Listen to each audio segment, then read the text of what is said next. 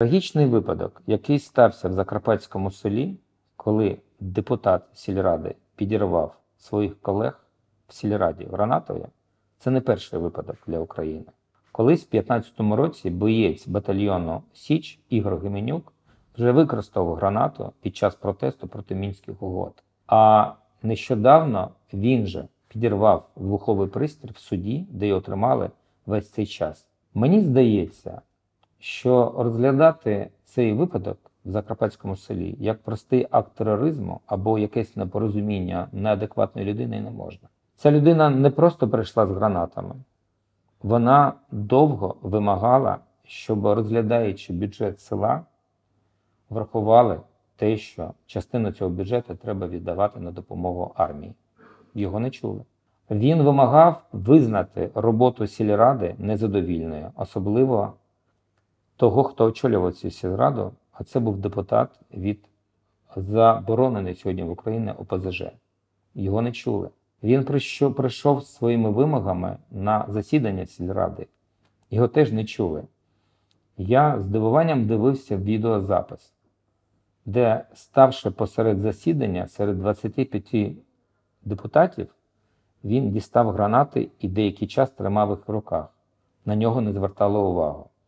Трагедія почалася, коли він їх кинув і підірвав не тільки депутатів, а й себе теж разом з ними.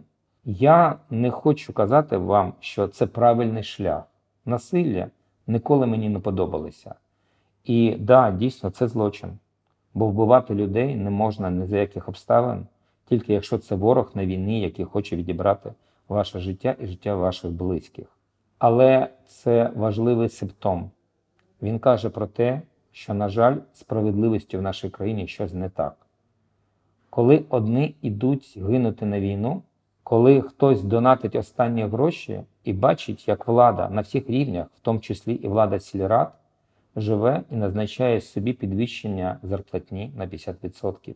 А кожного місяця, як це було в цій сільраді, вони призначили ще собі премію 100%. Коли влада не чує протестів, коли влада не бачить, що справедливості щось не так в нашій країні, гранати і насилля стає останнім аргументом. І тоді не в Конституції, а в свідомості людей виникає те саме право на повстання, яке українці не один раз реалізовували в великих і малих майданах. Я особисто бажаю, що Майдан 2014 року переміг не тому, що ми співали гімн і довго-довго стояли в мирному протесті. В той трагічний день, 18 лютого 2014 року, можновладці вбили багато протестантів під Маріїнським палацем. А потім вони почали зачищати Майдан. А 20 числа Майдан почав стріляти у відповідь. І всі про це знають. Є розслідування, знають, хто стріляв і чому стріляв, реалізуючи своє право на повстання. Звичайно, не можна доводити країну, щоб громадяни вважали, що право на повстання повинно бути реалізовано. Мені здається, що влада повинна почути і щось змінити в житті. І розуміти, що коли громадянське суспільство гине на війні, не можна залишати владу жити мирним життям. Життям, коли вони думають не про Україну, яка понад усе повинна бути для еліти. Вони думають про свої активи і про свої капітали. Ми пам'ятаємо Врадівське повстання, коли жителі Врадівки пішли на штурм відділку міліції, яка перетворилася з міліції на злочинців. Ми пам'ятаємо, як в селі Залісся під Києвом Віталій Запорожець шукав свою справедливість, вбивши із рушниці місцевого міліціонера, який творив насилля над всіми жителями цього села багато років. Його тоді засудили, а трошки пізніше випустили як політв'язня після Революції Гідності. Американці в своїй конституції мають пункт, який у всьому світі називається право на повстання. Цей пункт вимагає від американських громадян, коли вони розуміють, що влада творить злочини, зі зброєю в руках її скинути. Такого пункту в Конституції України немає. У кожної людини є права і свободи. І, на жаль, нам, людям, які живуть в пострадянську добу, це інколи не зрозуміло. Одним із найбільш незрозумілих правом є право на повстання. Нас привчили що не можна протестувати, особливо використовуючи зброю. Ось в цивілізованому світі таке право існує. Американська конституція це три основних документи. Перше це декларація про незалежність. Є ще біля правах і сама конституція. Вона доволі невелика, як всі вважають, не така, як в Україні. Але навіть там, у декларації про незалежність, це право прописано. Це природнє право. Більш того, американці, на відміну від нас, мають достатньо зброї, яким дозволено мати, щоб це право реалізувати. Але за всю історію Америки жодного разу таких повстань в Америці не було, якщо не враховувати громадянську війну. А ось українці в Конституції такого права не мають. Тільки держава тут має ексклюзивне право на насилля. Нам навіть забороняють право на самозахист. Якщо ви зі зброєю в руках будете захищати себе від злочинцями, то як це водиться, наше Міністерство внутрішніх справ одразу проти вас відкриють кримінальну справу за перевищення ступеню самооборони.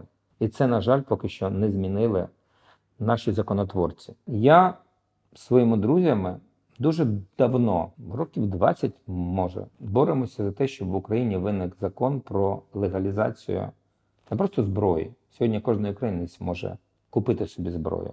А саме коли ти маєш цю зброю, використовувати її для самозахисту. І до 2014 року було повне нерозуміння. Звичайно, люди казали, да ви що, озброїти український народ, та всі представляють один одного. А що робити, коли там є алкоголь? А що робити з людьми, які неадекватні? А що робити з е, бійками? Це, на жаль, в нас такий радянський е, підхід до цього питання, коли нам казали, що тільки держава має право вас захищати. Але цивілізований світ добре знає, особливо найбільш розвинуті країни. Чим більше можливостей озброєного захисту громадян, тим більш безпека на вулицях. В Сполучених Штатах різні штати мають різні закони. І от де найбільш вільне володіння і можливості себе захищати завдяки зброї, на вулицях менше злочинності. У мене є такий приклад. Ну, нам кажуть, у нас немає такої культури, як в Сполучених Штатах Америки. Скажіть, будь ласка, а хто, на вашу думку, більш культурна нація українці чи молдавани? Молдавани в 90-х років такий закон прийняли. Вони мають, на відміну від українців, можливість купувати короткоствол. І молдавани один одного не перестріляли, хоча п'ють вина не більше, ніж українці. Більш того, саме тоді була вирішена проблема вуличної злочинності в Молдавії. На відміну від українців, вважається, що молдавани мають право мати короткоствол, це пістолети, і себе захищати, а українці досі не мають. Хоча ми розуміємо, як нам сьогодні потрібно. Думка почала мінятися з 2014 року стосовно цього. Бо всі зрозуміли, коли на тебе нападає ворог, краще мати свою зброю і захищати себе не тільки від злочинців, а від тих ворогів, які хочуть забрати твоє життя, твою землю, твій дім, життя твоїх рідних. Мені здається, що ми давно маємо це право, особливо під час війни. Ви можете собі представити, що було би? якщо б кожен житель Бучі, Ірпіня, Ворзелю мав би зброю вдома і мав би право себе захищати. Скільки би куль зустріла нашого ворога, коли вони би прийшли в наші міста. Але, на жаль, і наша влада дуже боїться цього права на повстання, тому його нема, ми його офіційно не маємо. А я би змінив нашу конституцію. І повірте мені, це б не привело до насилля. Бо влада, яка розуміє, що озброєний народ має таке право, діяла б по-іншому.